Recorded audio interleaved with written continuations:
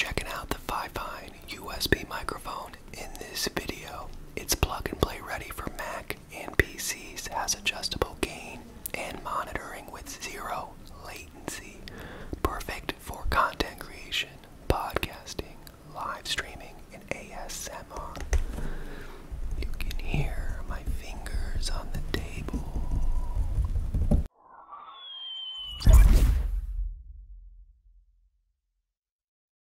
Hi everyone, Digital David here. Today in this video, I'm going to be unboxing and reviewing the Fifine USB microphone for podcasting, streaming, and recording. I did receive this product to review, but any opinion expressed in this video is strictly my own.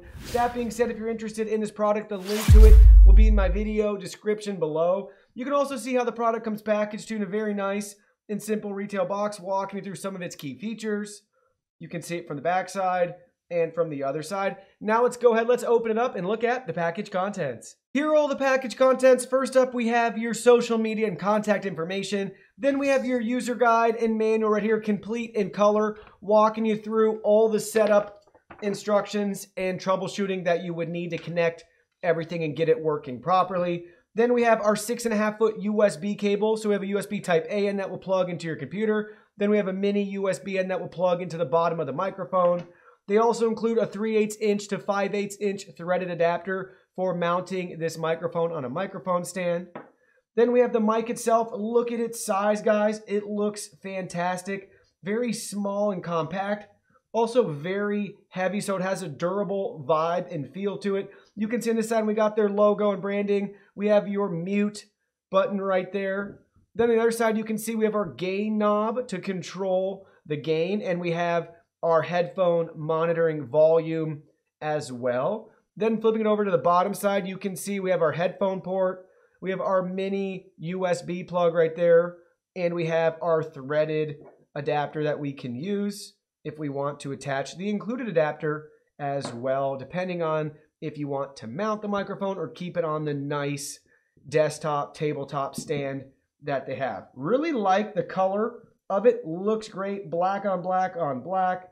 Very heavy. Seems to have a nice build design and feel to it. So the construction seems on point. Now let's go ahead. Let's try it out. So you're listening to the raw mic audio right now, guys. We didn't edit it in any way, so you can hear how this microphone sounds straight out of the box without any adjustments besides the gain knob on the back. It really is a plug and play microphone. Plug it in your computer and you're all set and ready to go to start recording your podcasts, your streams, your videos, whatever you want. I really like the small form factor. I like that we have zero latency monitoring as well. It's great to have that headphone jack on there so I can hear in real time what everything sounds like so I can make on the go adjustments when necessary. When you're using the microphone, this is the back side with the knobs on it to adjust the volume and the gain, where the front side has the mute button with a green or a red LED light. So when you push the mute button, a red light.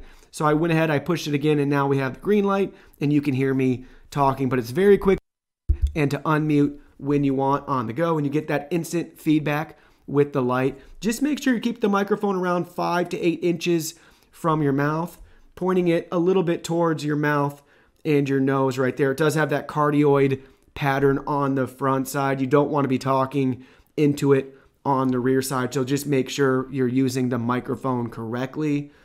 If you want to get a little bit closer, just make sure you have adjusted for the sensitivity of this microphone. But there's not much you can do if you're this close and you already have the gain set to zero, unless you want to change some of those settings on your computer.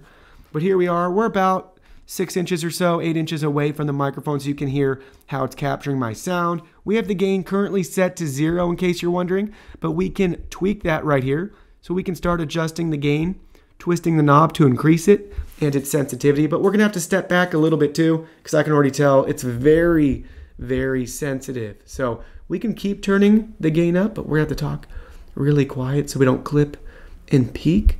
So we have the gain up more.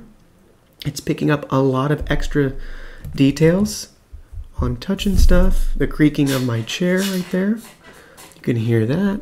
We got a mouse we're clicking, so you can hear that too. So it's picking up a lot of extra noise in the background.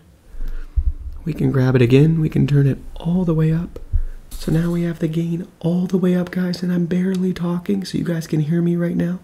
We're getting to that ASMR range, I guess, if we want to have a really sensitive microphone with that gain. We can do that if we wanted. We just touch the microphone like that. So there we go. We got the gain all the way up. And we can adjust it back down too. So we can adjust it back down.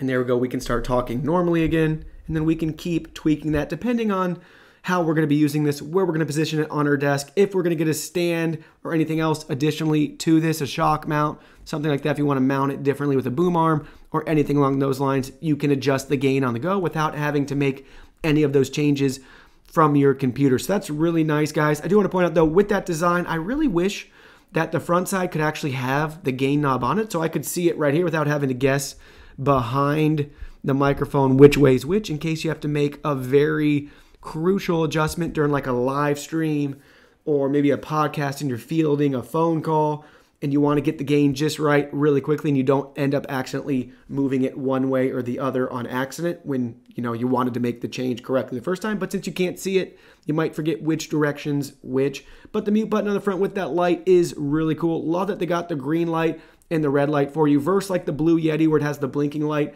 it gets a little bit confusing I me and i can't remember which light means what until i look at like obs or whatever software I'm using to record the audio to see what's coming through. But red and green is very easy. Red is muted, green means you're good to go. So I really like that. It's small form factor is great too. It's really a cool microphone. I think it's neat. It fills a great void in the microphone space out there to be an affordable alternative to some of the name brands at, you know, a great competitive price, still giving you good enough features for your streams, your podcast, or your content creation. Just for fun, I went ahead, I grabbed my Blue Yeti microphone as well. I got the blackout edition right here. They're actually very similar in color, but I wanted to show you guys the size differences. It's drastic. This is about half as wide and half as tall. Really like the small form factor for this versus the blue microphone. Everything else is very similar in regards to their layout. Even the stands are similar too. They're both heavy duty microphones. They both have a similar stand, but what's cool about this stand, look, it can go all the way around where this one you know, gets stuck right there at the base. But the layout, very similar, guys. We have the mute button on the front for both of them. The blue also gives us our audio monitoring adjustment volume right there too with that knob. I really wish this microphone did that too, like I pointed out earlier. Then we can look at the backside, slightly different controls. So you can see right here we have our gain. Then we have our pickup pattern adjustment too with the blue.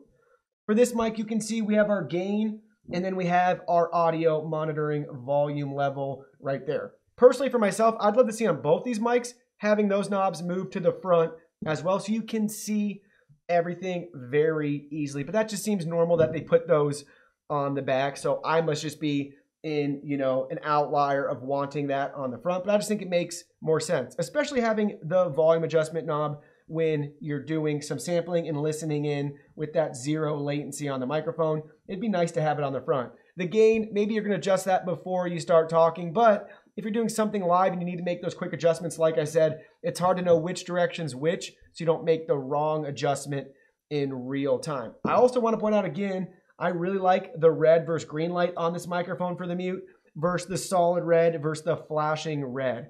I, for some reason, have a brain fart every time when I see that to know am I picking up the audio or not, and then I have to go check OBS or whatever audio software I'm using to make sure, you know, it's not muted by accident. And I can tell you a lot of times I've had that muted on accident and wasn't even aware, so it's very frustrating for me. Where the green light, I'm always going to know when it's picking up audio. Well, that concludes our video. Thank you so much for watching. Don't forget the product link will be in our video description below. Please go ahead, check it out, and do your shopping from there. Any purchase made through that link helps support our channel at no additional cost to you. So we're really grateful and thankful for all of your support. While you're at it, can you go ahead and hit that like button for us?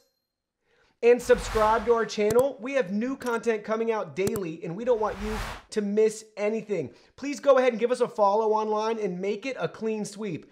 Facebook, Twitter, Instagram, Twitch, TikTok, Discord. You can message us on WeChat, check out our website, and join our free newsletter. Thank you guys so much for being here. Don't forget new content daily, and we can't wait to see you in our next video.